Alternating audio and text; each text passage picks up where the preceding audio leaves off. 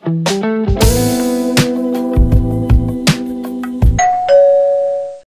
y'all, we are officially almost at the finish line of Shaka Ilembe guys. We are on episode 10, halfway through. I can't, I can't, I can't for the life of me. Yeah. So let's get right into it. Let's not waste any more time. It first begins with Nandi and she is packing up at the Barbie house. She's ready to leave with her kids um, and they are headed to the Mtetwa kingdom because yeah it's it's it's too hard for her to be where um, she built a life with the Gideon and he's no longer here. So yeah it's time to to start over again. So yeah they leave and um, you see the return of the family that I don't like. I don't know about y'all but the Ndwandwes oh my gosh Zwide and his mom and his brother so yeah we see the return of them and um, the drought is is over. So it's narrated that the drought is over and they are basically flourishing. Um yeah. And they are having a council meeting. Yeah it seems like a council meeting. And um Zwide is basically talking to um his people well the council and his mom and his brother. And he's telling them that um the trade has been blocked so um Dingiswayo basically blocked um, trading between him and Amatonga. My people, my people. oh, um, so yeah, basically blocked um, trading with Amatonga, and yeah, it's his fault that that's happening, and they need to fix it. And then we see his brother entering the meeting and greeting everybody, and them greeting him back, and he says that they have been watching um, the brother says they have been watching um, Dingiswayo and his people and has called a meeting with all the kings and it seems like something is is up um, no nothing bad is up Dingiswayo is not the type of king not like Senzama. And then it goes to um, Dingiswayo and he is also having a meeting with his council. And um, no, no, he's having the meeting with the kings. Um, and then he is um, talking about how the roots have been um, taken by Uzwide, basically Bagandwandi have taken the roots, the trade routes, and it is time for them to get the roots back because for 20 years the roots belonged to Gamteto. So now it's time for them to, to get them back. And um, he is going to need the help of the other kings. He wants them to come together, not just in trading, but to come together also when in a war um, so happens. So they must be prepared for such things. And then one of um, the kings, um, Madiwa, I think that's his name, Madiwa, um, says this is madness. Like it's so who is gonna be um, in charge of Ibuto? So who's going to be in charge of the warriors? Who is Adam Tato is going to be the ones who are in charge of um, the warriors? And Dingiswayo is like, yeah, because the Tatos have the strongest army, so it's only obvious for us to be the ones who lead the the war. And he's like, this is madness. He's not going to stay for this nonsense. He is leaving. So he he goes. He's like Asambe. I don't know who he's saying Asambe to ooh, look at my hand. I don't know who he's saying Asambe to, but he says that and then he, he goes. None of the other kings follow him, so I guess he leaves by himself. And then it goes to um, Shaga and he is playing with his siblings. So Nandi had another um, child with Ukidingana, a boy.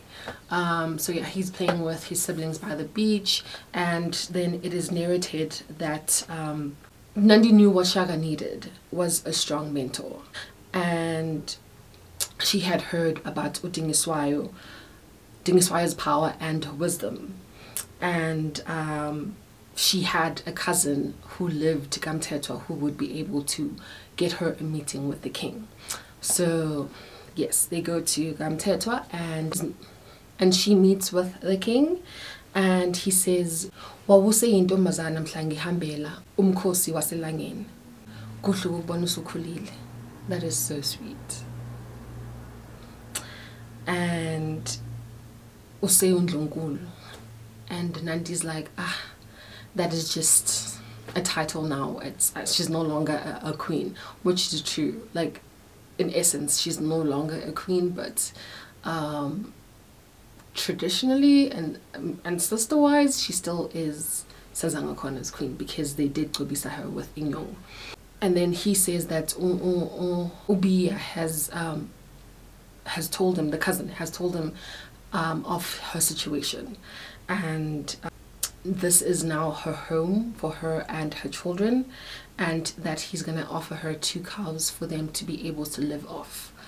Um, so get milk and yeah stuff like that. And also um, Bia has to give her land for her to build a home.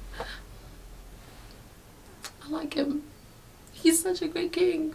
So nice but he's always been like he always had that ubuntu. Yeah he always had humility and yeah he's better than his brother definitely. Then Nandi says um, thank you for um, the hospitality basically. And as they are about to leave um, Ungomane is like may the cub stay behind which is Shaga. Um, and then he tells the king Guti um, the cub is the one who was fighting at the Gwabe battle that time and like yeah can um, Shaka stay behind and Nandi's like okay so Shaka stays behind and um, see we knew he was he, he was impressed from the first time that he saw him so the fact that he's seeing him again Shaga's going places. So he says, I saw you at the Gwabe battle and you showed bravery. But Shaga says that he was reckless. His reckless actions cost him a lot more. And um, Yambosa says, Yambosa is the king. So Yambosa says, um, we always lose people in, in battle, in war, and that is the sacrifice that they make. And it's just how you deal with it after the loss. And then Shaga says, um, and then Shaga says, my goal is to win every battle that I'm in. and both men just like smirk at him because it's just like it's it's not impossible but it's just like it's a, it's a high reach. Um, and then Yambosa says to him that he is a grown man now and it's time for him to stop um, following his mom around and to join the Mteto army so he will be drafted into the Mteto army and then Shaga's like no I will it will be an honor for me to be in the army. And they tell him that if he is ever reckless like he was at the the Gwabe battle then he will be punished for it. And he's like yeah no he understands. So it goes to Shaga and he's going to his mom after he leaves the king. And um, his mom is like so will you be able to come visit um, us again and he says um, whenever they let me I will come. And then he says to her your sacrifices will not be in vain. And I will make the mountains bow to you and all will praise your name that is my oath to you. Shut up. yes he sees what his mom has done for him. He sees what she has sacrificed all this time, all these years. And this is definitely the opportunity to, for him to prove that he is worthy of that sacrifice. So yeah, he's definitely going to make that come true. And so Shala goes to join the other warriors and they like singing and you can see that he's in awe like he's just like in awe of all these men. And yeah he sees himself as being one of them one day. And yeah so they're singing and they're singing and they're dancing. And he's just like among them just soaking them soaking it in. And then um induna comes to him and says he has been told by Ngomane who he is. So um he is going to be drafted into the Ikii Izikwe yeah Izikwe um, regiment. Um, and then Shaga's just like, but they look a bit young. he is young himself. He's like, they look a bit young and like they haven't developed. And this dude just laughs at him and he introduces him to, to the people that are the other boys who are, are going to be um, with him. And he says, show him to his sleep quarters.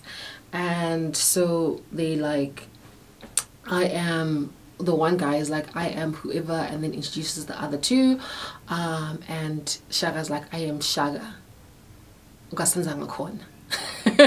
He never forgets that. He takes so much pride in being Senzangakhona's son. Like if only Senzangakhona could acknowledge it and only if he knew how proud his son was of him. So he says that and then the guys are like, okay, um, Shaka Senzangakhona, don't take the Nduna's um, harshness to heart. That's just how he is. Um, but he really cares. So um, yeah, let's show you around. So they leave and um, his aunt narrates again while Shaka is by the beach and he's training and she says Shaka was determined to make his mother proud and Shaka trained relentlessly, sharpening his skills, his body getting stronger and becoming the warrior that many want to have in the army. Yes, Shaka. Do it for yourself and your mom and then it goes back to him walking um, and then he goes back to um, training to his training buddies basically the guys that he's training with and they are fighting sticks so um, he is beating them. Like he is way better than he was when he was Gaqwabe like he has definitely sharpened his skills and gotten stronger and faster. So yeah he's beating them and then the guy is just like to the one who fell get up and fight. And then he puts another one. So it's two people against one. So two against Shaka only. And he is getting in there guys. Like he is fighting like he's never fought before. And um yeah so he beats the two and then he's like is there anyone else is there anyone else who wants to take me on um and then um Mgobozi, yes, Mgobozi is the one who takes him on and yeah, they fight, they kick each other. While they are busy doing that, um, Ngomane comes and everyone stops and they greet him and he says to Shaga, how is he settling in? Shaga's like, no, I'm settling very well. And then he asks to see um. Um, so Somveli is part of Shaga's regiment. And then it goes to Gandwandwe and it is um, Hunchback and he is flirting with the ladies. Weird. Um he's flirting with the ladies. He's such a ladies man um so yeah he gets with this one girl. I just skipped that part uh, because it made me feel uncomfortable. But yeah and then we go to um Shaka again and he is uh, with the warriors and they are telling him a story about ilembe. Um Lembe apparently was um, a monster. Okay, they said he is a monster who kills other um, warriors and steals um, livestock from the king, Gamteto. So yeah, he he is just like a monster. He's a madman, and um, if Shaka doesn't believe them, he can go and find out for himself. Um, Somveli and Dingiswayo and we find out that Somveli is actually Dingiswayo's son. So Dingiswayo is basically, um, he says it's been a long time that, oh, the son is like, it's been a long time since we've had um, time together, like one-on-one. -on -one. And um, Dingiswayo is just like, I am king now, so I, I don't have time for, for, for you because I have like all these things that I have to do, take care of the people, take care of this and that and that and that. And he's just like, I miss how you and I used to sit and eat together. And he says while he's taking care of everybody else he forgot about him. And then the father's like i am sorry. Um things like i'm sorry because you and your sister had to grow up without me all these years but I am definitely going to change that and then some. Somveli we see him smiling because yeah I mean that would make any other any child happy to to spend time with his father um, after so long of not having that opportunity and then he some Somveli is like okay so to make it up to me I'm gonna be joining the the regiment tomorrow when you go to battle and then his father laughs and goes to Shaga and the guys um, in their quarters and um, one of the guys is basically saying Shaka beat them. Like Shaka showed them flames. Um, he can beat them but he can't um, beat them when it comes to girls. And then they laugh at him. They're drinking and the other one is rolling a joint. Um, and then um, Somveli comes back and he he basically brags to the guys that he is he's going to be joining the the, the battle tomorrow and yeah the boys are going to be left behind uh, he says that to Shaka that boys are going to be left behind um, and then Induna comes in while they are talking um, and um, Shaka says, "Can they are ready to join the battles tomorrow?" And Induna's like, "No, I told the king that you guys are still very green, angavuto." And Shaka's like, "We are ready." And Induna said, "You are very green. You are not developed yet." And then Shaka tries to hold him, like to to turn him back because he was leaving. And Nduna just like smacks him and jabs him in his throat. And everyone just like laughs at him. And he falls to the ground and he's like I am telling you you are not ready. Be patient. And he leaves. And they laugh at him and Shaga's like ah I don't know what you guys are laughing at and everyone's like yeah no you're getting beat by an old man how are you going to be fighting if you're getting beat by an old man and Shaga's just like um, where does he get so much strength when he is so old? And yeah, he just hasn't had that much sex in his life. Uh, and then it is tomorrow and the king and Somveli and the, the warriors are preparing to go to battle and yeah so he gets them in the spirit by um, saying a few not words but like um, war cry war cry songs or whatever. Yeah something like that. And yeah so they leave and then Shao goes to Ungomane and Nduna. And Nduna's just like hey when I'm fine I can't you see that we, the, the adults are talking. And Ngomane is like no it's fine let him let him speak. And Shaga is like so who is this Lembe? I he, I'm hearing stories about this Lembe some crazy man um, a crazy madman who is killing people and Gomani says um, Lembe wasn't um, a crazy man at first. He was one of Ibuto and then he at, as time went by he lost his mind.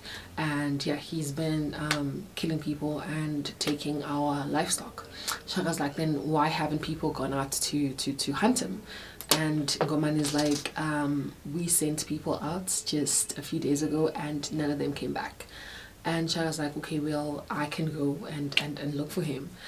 And they laugh at him. And he's like no those people who went out to look for him didn't have um, the smarts and a, a, plan to, to get him. And everyone's just like oh so you think you're smarter? And um, he's like yeah I mean I can I can get it done. I just need 10 men. And Goman's like okay cool. We will give you 10 men but make sure that you you pick them carefully you pick them carefully so that I don't have to go and send condolences to your mother when you die. And then it goes to uh, Shaga and the guys and they are um, herding, well they pretending to be herding kettles by where um, Ilembe usually is. So um, is like, no, we should go and attack. And Shaga's like, no, if you follow my instruction, you follow my plan, we're definitely going to get this guy. And as they are talking amongst each other, a spear just comes flying and hits one of these guys. And yeah, um, Lembe's people start running towards Shaga and them and yeah they fight they fight and yeah they beat them. And Lembe shows up. He is a giant he's so big. So he shows up with like horns on his head and he's just like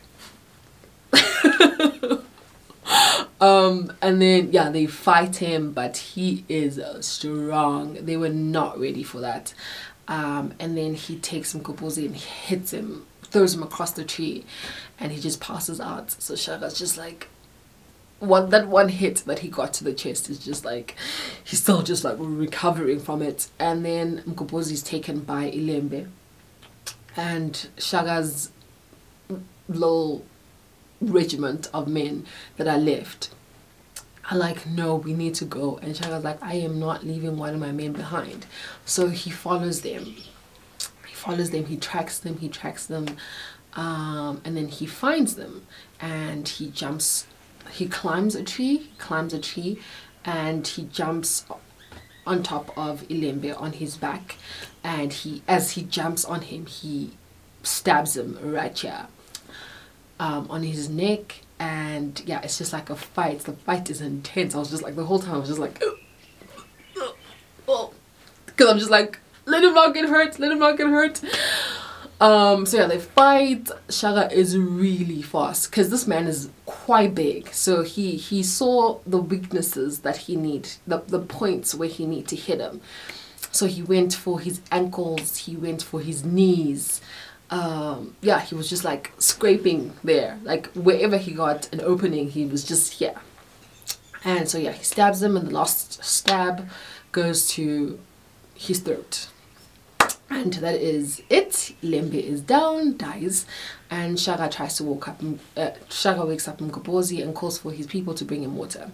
And then they return home they return home to the kingdom and they are singing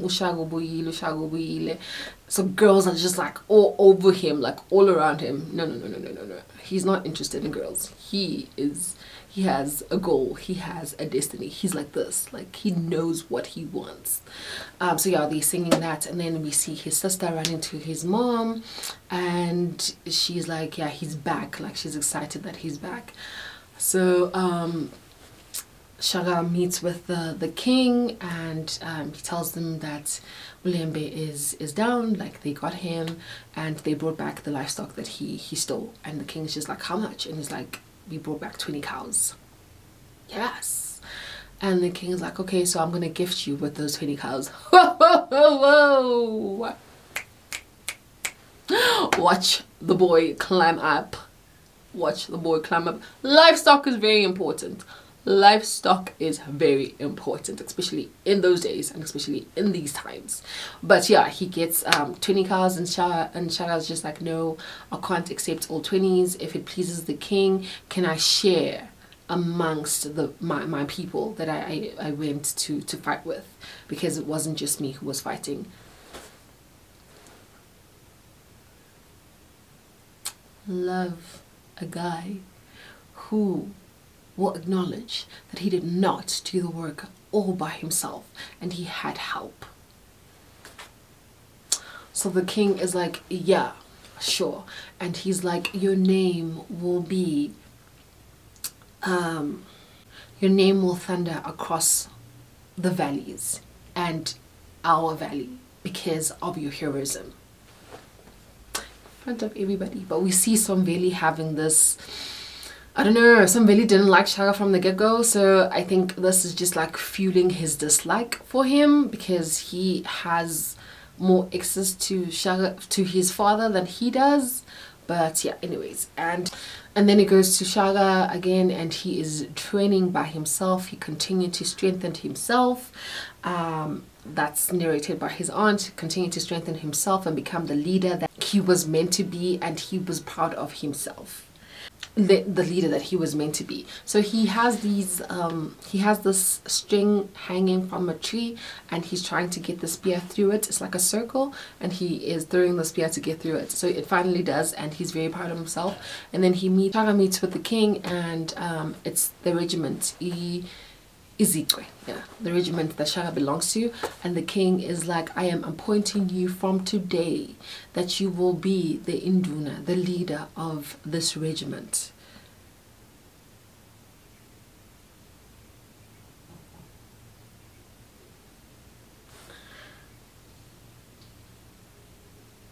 And Shaka's just like, yes! now I'm just like, yes, for him, yes. He has some title now.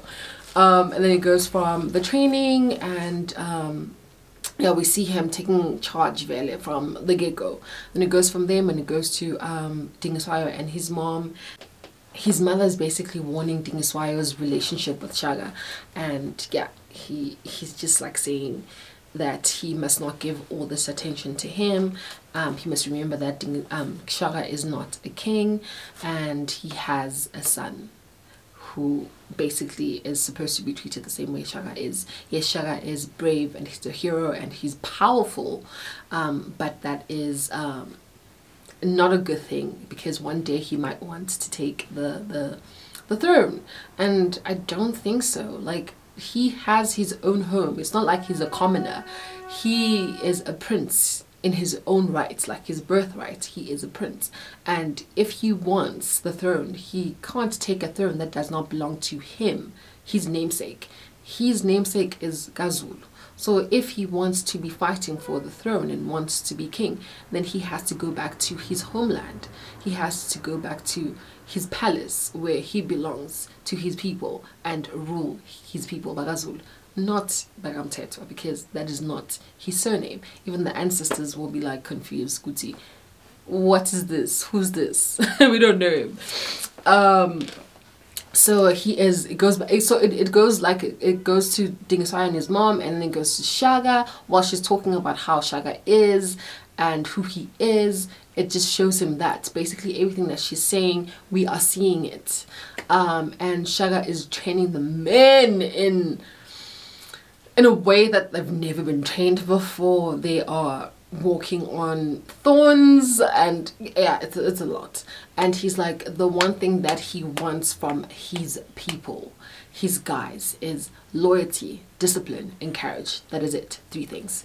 And and then it, it says two years later two years later and they at a battlefield and yeah so they they they they they singing um what is the song? Oh shoot, I forgot it. but yeah, they're singing that and Shaga's leading it. And then they bring uh Matia, Matiani, Matiani. Think that's his name, guys.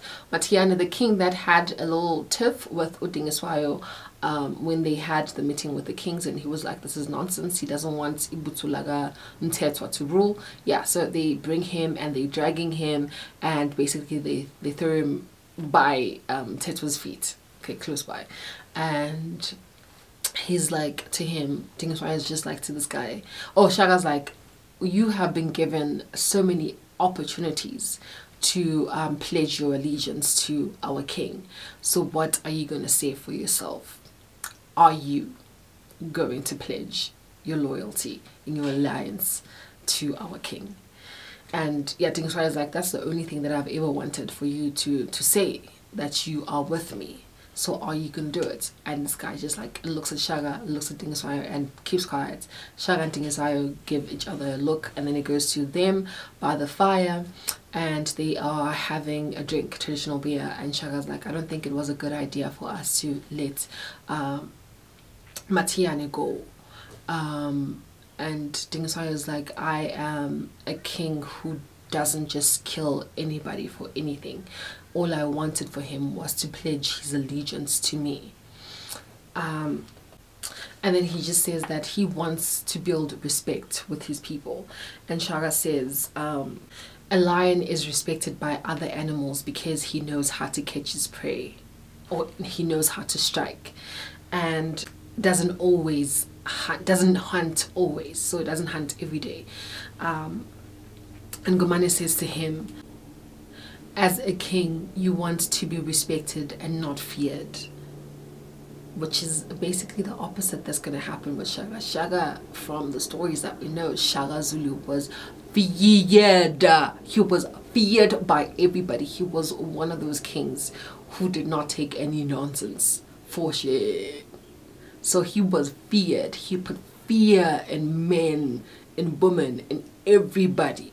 So yeah, he's gonna rule with fear. He's not gonna rule with respect. And then Ngomane says now it is time for them to focus their attention on Umakidam, Elangin. And then Shaga, when they mention that, Shaga is reminded of all the time that he was bullied by Umakidam.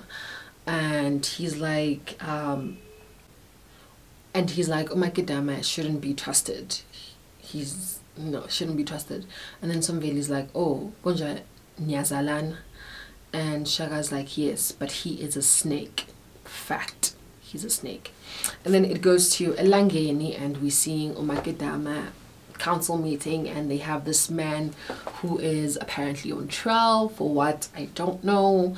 Um, but um, Makidama saying all these things and how he has all these three wives, this guy, and he still has a wandering eye. And his uncle is like, You are a cruel king. He looks like a cruel king. He's always been a cruel prince. So, him turning out into a cruel king is not surprising at all. And also remembering who his father was. Um, so, he's just like eating meat there and he's chewing like a madman. Like, No. Um, so he stands up and he takes a spear from the guy who was sharpening it, and it looks it's Tulane from um, He doesn't even say a word. Why is he there? But yeah, he takes a spear and yeah, he stabs this guy in front of everybody without even saying what he's guilty of and um, he goes back down and sits and he starts chewing on his meat again and two messengers come from a gamtetwa um, and they say they have a message for him from the king. Uh, it goes to Zwide and his family and they are having a, a meeting and um, Zwide is basically saying that his army is, is stronger now and more powerful. And um, his brother's like yeah that may be so but also their army has grown and become more powerful because Shaka is a powerful commander. They didn't have him then, but they have him now. And I fear that we might lose again.